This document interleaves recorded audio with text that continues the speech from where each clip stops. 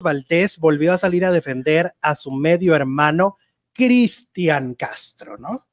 Eh, resulta que fue durante un encuentro con los medios donde Marco, Marcos Valdés arremetió contra Mariela Sánchez y le lanzó unos dardos contundentes. Bendito sea Dios que se escucharon esos audios, dijo.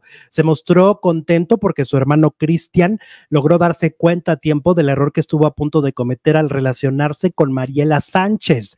Vamos a ser muy claros, lo que ella que quería era dinero, posición en México. Qué bueno que mi hermano la pudo dejar porque parecía que se quería echar para atrás y quería regresar. Bendito sea mi Dios, mi hermano está libre, tranquilo, aseguró Marcos Valdés, quien consideró que fue una pena que Mariela hablara así de Cristian cuando él simplemente la trató muy bien y le cumplió todos sus caprichos.